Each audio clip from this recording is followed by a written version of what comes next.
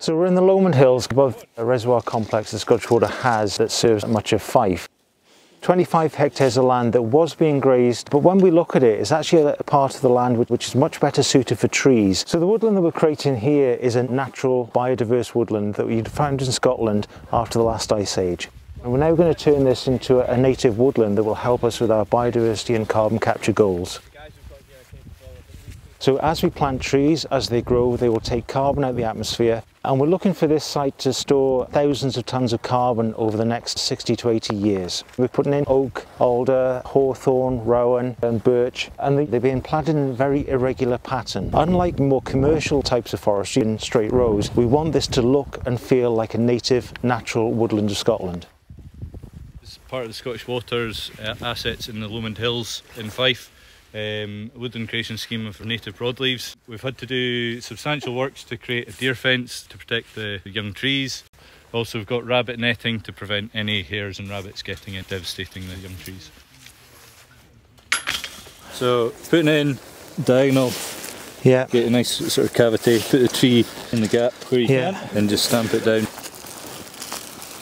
Okay, so they're nice plugs. Yeah, just over the top of that. Is it okay to put them next to each other or do you want to mix the species? Your, your wood mark, you want to put it. So what we have here, this little green cylinder is a, a vole guard and this protects the, the young trees from browsing from voles which like to live in this kind of grassy habitat. And uh, these ones we're using today are actually biodegradable. And so the benefit of that is that they last just long enough to establish the tree and then they'll degrade into the environment and leave no microplastics. The other benefits from this are to support biodiversity. We've got an objective and a duty to support Scotland's biodiversity and that really is looking for Scotland to start to recreate the types of habitats that it used to have before much of the land changed in recent centuries. So I say this will deliver a lot of biodiversity gain for the site. It'll also help to shore up and make the land more resilient to climate change.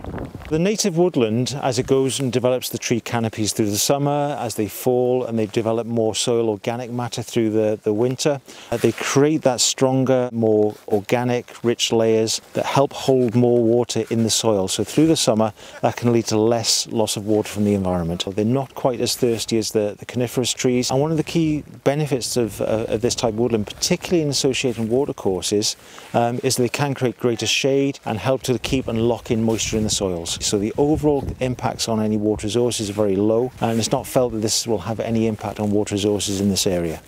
Open ground is still very important for wading birds, for overwintering birds uh, to have access to habitat. And we are leaving some large patches of open ground that will support this. But really it's about creating the native Scottish ancient type of woodland that would have been here before that uh, we don't really have enough of across Scotland.